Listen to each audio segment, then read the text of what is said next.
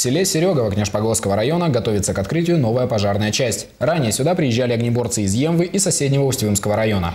И Хотя официального новоселья еще не было, местные брандмейстеры уже заступили на боевое дежурство. Репортаж Виктории Палкиной.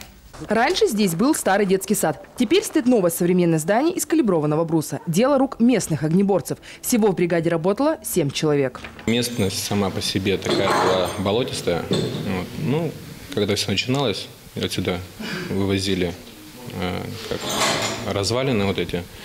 Вот. Потом завезли за песок, э, выровняли э, площадку.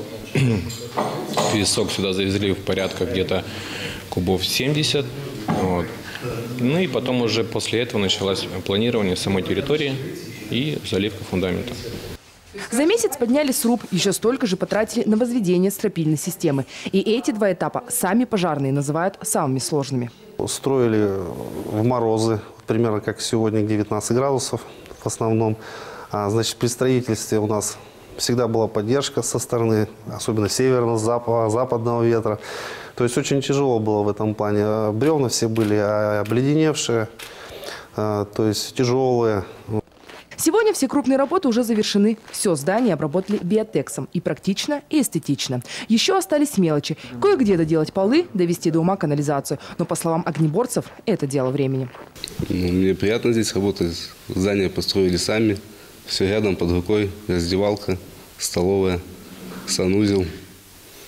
Да и работа вообще хорошая. Сегодня в гараже стоит одна новая автоцистерна. Кстати, свое боевое крещение она прошла в декабре, побывав сразу на двух пожарах.